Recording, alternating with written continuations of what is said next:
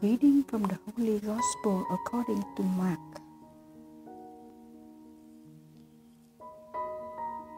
And as he was setting out on his journey, a man ran up and knelt before him and asked him, Good teacher, what must I do to inherit eternal life? And Jesus said to him, Why do you call me good? No one is good but God alone. You know the commandments do not kill, do not commit adultery, do not steal, do not bear false witness, do not defraud, honor your father and mother. And he said to him, Teacher, all these I have observed from my youth. And Jesus, looking upon him, loved him and said to him, You lack one thing. Go sell what you have and give it to the poor, and you will have a treasure in heaven. And come follow me. At that saying, his countenance fell, and he went away sorrowful, for he had great possessions. And Jesus looked around and said to his disciples, How hard it will be for those who have riches to enter the kingdom of God. And the disciples were amazed at his words. But Jesus said to them again, Children, how hard it is to enter the kingdom of God. It is easier for a camel to go through the eye of a needle than for a rich man to enter the kingdom of God. And they were exceedingly astonished and said to him, Then who can be saved?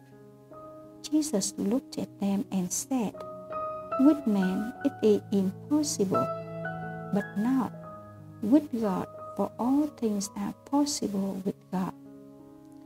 Peter began to say to him, Lord, we have left everything and follow you. Jesus said, Truly I say to you, there is no one who has left house or brothers or sister or mother or father or children or lands for my sake and for the gospel, who will not receive a hundredfold now in this time, houses and brothers and sisters and mothers and children and lands with persecution, and in the age to come eternal life. The word of the Lord.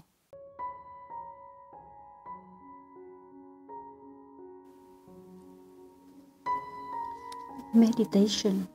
What gives hope and satisfactions to our desire for happiness and security? A young man who had the best the world could offer, wealth and security, came to Jesus because he lacked one thing. He wanted the kind of lasting peace and happiness which money could not buy him. The answer he got, however, was not what he was looking for. He protested that he kept all the commandments, Jesus spoke to the trouble in his heart. One thing kept him from giving himself wholeheartedly to God. While he lacked non- nothing in material goods, he was nonetheless possessive of what he had. He placed his hope and security in what he possessed.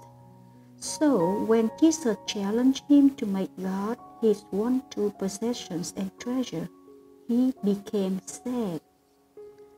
Misplaced hope and treasure. Why did he go away from Jesus with great sorrow and sadness rather than with joy? His treasure and his hope for happiness were misplaced. Jesus challenged the young man because his heart was possessive. He was afraid to give to others for fear that he would lose what he had gained. He sought happiness and security in what he possessed rather than in who he could love and serve and give himself in undivided devotion. The greatest joy possible. Why does Jesus tell his disciples to sell all the treasure of his kingdom? Treasure has a special connection to the heart the place of desire and longing, the place of will and focus. The thing we most set our heart on is our highest treasure. The Lord Himself is the greatest treasure we can have. Giving up everything else to have the Lord as our treasure is not sorrowful, but the greatest joy. Selling all that we have could mean many different things. Letting go of attachments, friendships, influences, jobs, entertainments, style of life, really anything that might stand in the way of our loving God first and foremost in our lives and giving Him the best we can with our time, resources, gifts, and service. The priceless treasures of God's kingdom. Those who are generous towards God and toward their neighbor find that they cannot outmatch God in His generosity toward us. God blesses us with the priceless treasures of His kingdom freedom from fear and the creeping power of sin. Selfishness and pride would block His love and grace in our lives. Freedom from loneliness, isolation, and rejection would keep His children from living together in love, peace, and unity and freedom from hopelessness, despair, and disillusionment, which blind our vision of God's power to heal every hurt, bind every wound, and remove every blemish, which mar the image of God within us. God offers a treasure which money cannot buy. He alone can truly satisfy the deepest longing and desires of our heart.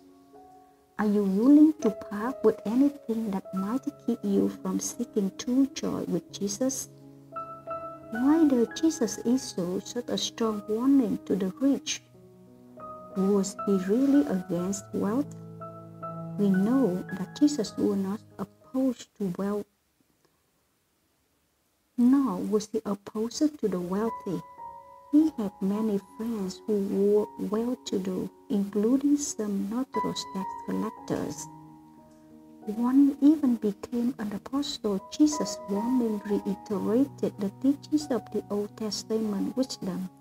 Better is a poor man who walks in his integrity than a rich man who is perverse, perverse in his ways. Do not wear yourself out to get rich. Be wise enough to desist. Where do we find true security? Jesus seemed to say that it is nearly impossible for the rich to live as citizens of God's kingdom. The camel was regarded as the largest animal in Palestine. The eye of the needle could be interpreted quite literally, or it could figuratively display the narrow and low width of the city walls, which were used by travelers when the larger public gate was locked after dark. A normal-sized man had to lower himself to enter that gate. A camel would literally have to kneel and draw through it. Why is Jesus so cautious about wealth? Wealth can make us falsely independent. The church at Laodicea were warned about their attitude toward wealth and the false sense of security. For you say, I'm rich, I have a prosper, and I need nothing. Wealth can also lead us into hurtful desire.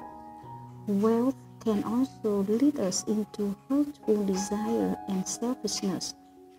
Look at the lesson Jesus gave about the rich man and his sons who refused to aid the poor man Lazarus. They also neglected to serve God. We lose what we keep, we gain what we give away. Right after a wealthy young man refused to follow Jesus, Peter, somewhat rudely, wanted to know what he and the other disciples would get out of it since they had freely accepted Jesus' offer to follow him unconditionally. Jesus spoke with utter honesty.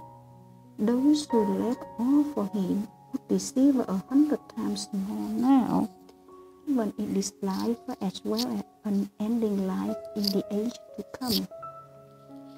The gospel presents us with a paradox.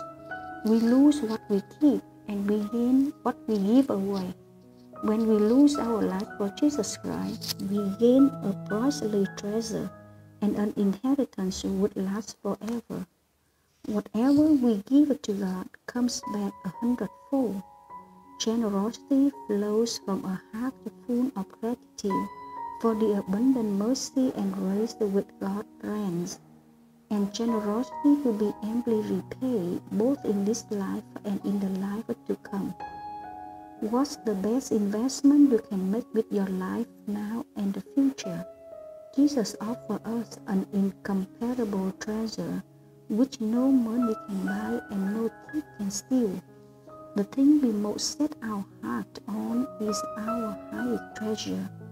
Material wealth will shackle us to this earth unless we guard our hearts and set our treasures on God and His everlasting kingdom. Where is your treasure? Jesus did not hesitate to tell his disciples that they can expect both blessing from God and persecutions from the world which is opposed to God and his ways. We should neither be surprised nor fear those who try to intimidate us or oppose us when we take a stand for God's kingdom of truth and righteousness. No earthly reward or treasure can outmatch the joy and bliss of knowing God's love, mercy, and peace, and the joy of knowing that our names are written in heaven, where we will bear with God forever. Do you know the joys of the Lord and the treasure He has stored up for us in heaven? Lord Jesus, you have captured our hearts and opened to us the treasures of heaven. May you always be my treasure and delight, and may nothing else keep me from giving you my all.